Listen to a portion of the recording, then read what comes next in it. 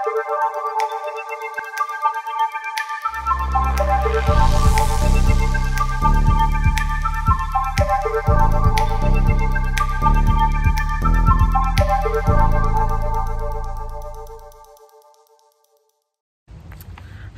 it's Janie, Early Learning Specialist at the Reynolda House. And this month, I am so excited to talk to you about silly animals. We have some really fun stories, a nursery rhyme, and even a song. Let's get started. Hey Diddle Diddle is a traditional nursery rhyme in the English language that children have heard for over 200 years. It is very likely that the Reynolds children learned it when they were younger. When I look at this picture, I see some animals doing some silly things. Do you see it? Do you see the cat and the fiddle? Do you see the cow that jumped over the moon? And do you see the little dog that laughed? Let's read this nursery rhyme together. Hey, diddle diddle, the cat and the fiddle, the cow jumped over the moon. The little dog laughed to see such a sport, and the dish ran away with the spoon. Can you say this with me this time? All right, let's start. One, two, three, go. Hey, diddle diddle, the cat and the fiddle, the cow jumped over the moon. The little dog laughed to see such a sport, and the dish ran away with the spoon. Now we're going to read Animals Should Definitely Not Act Like People. Written by Judi Barrett and illustrated by Ron Barrett. Animals should definitely not act like people because it would be preposterous for a panda because a worm would be worn out. Look at that worm trying to lift weights. Because it would be outrageous for an octopus to play outfield. Look at all those baseball mitts on his tentacles. That would be so silly. because it would be foolish for a fish. Because a hippopotamus would have to have a heap of help. That means a lot of help.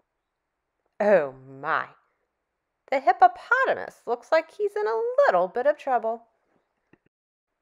Animals should definitely not act like people because it would not pay for a pigeon. Because a fly would find his furniture falling. Look at that! The fly is on the ceiling, and all of his furniture is falling. Because it would be dreadfully dull for a dog because a giraffe would gasp when she glanced to the ground. What is that giraffe doing? Painting the house?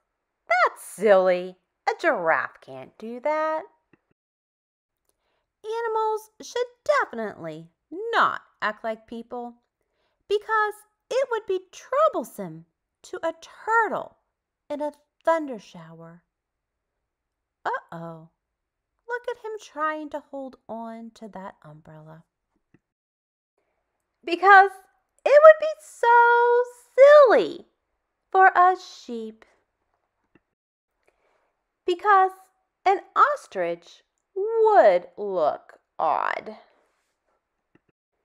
Animals should definitely not act like people. Because a ladybug would have a large load to lift. And most of all, because we wouldn't like it. Wow. Animals definitely should not act like people. That would be so silly. Can you imagine? Oh, I enjoyed reading that story for you. Now, let's listen to a song by Miss Cynthia.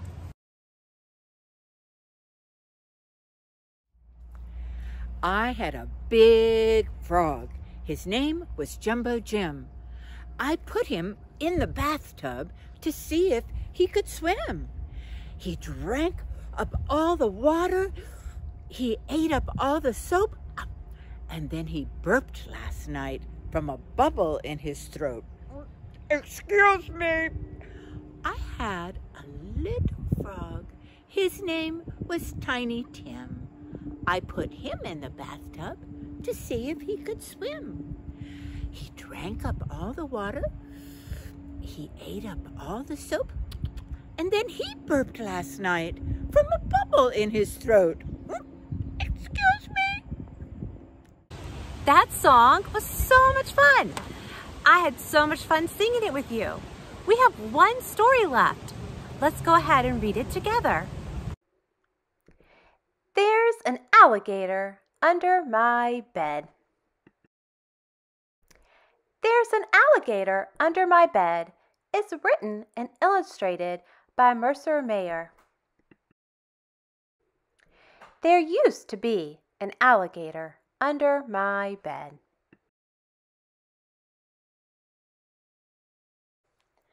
When it was time to go to sleep, I had to be very careful. Because I knew he was there. But whenever I looked, he hid or something. So I'd call Mom and Dad. But they never saw it. It was just up to me.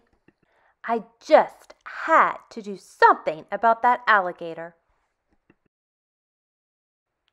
So I went to the kitchen to get some alligator bait. I filled a paper bag full of things alligators like to eat. I put a peanut butter sandwich, some fruit, and the last piece of pie in the garage. I put cookies down the hall. I left fresh vegetables on the stairs.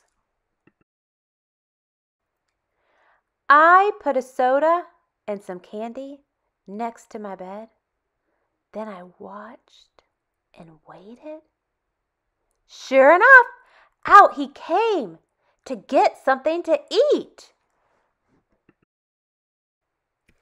Then I hid in the hall closet. I followed him down the stairs. I followed him down the hall.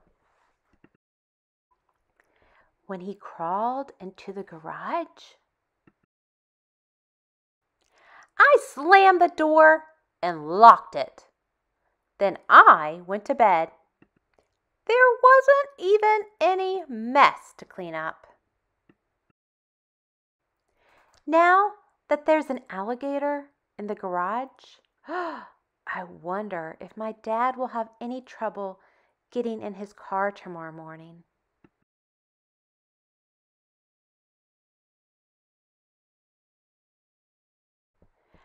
I'll just leave him a note.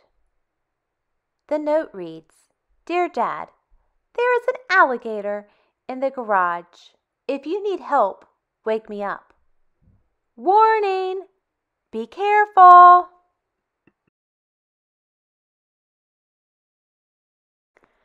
Oh my, that poor dad! Do you think he was able to get in his car? Whew, I don't know. But my son, he tries to convince me that there's a T Rex in our house. I haven't seen him yet. But what I have seen is something very silly that he made. He got the idea from one of Miss Julia's pop up studio videos. He tore small pieces of green paper and glued it to a T Rex outline. He decided he wanted to make a silly T Rex. So he created a skateboard for his T Rex to ride. Every time I see this, it makes me smile because it's silly and it reminds me of the silly animal stories we read today. I hope you will watch Miss Julia's video and create your own silly animal. You will have so much fun doing this.